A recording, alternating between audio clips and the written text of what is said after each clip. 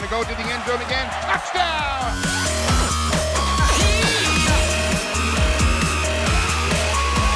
Peterman three-step drop, throwing to the end zone for Benjamin, makes the catch. Touchdown! Touchdown, Buffalo!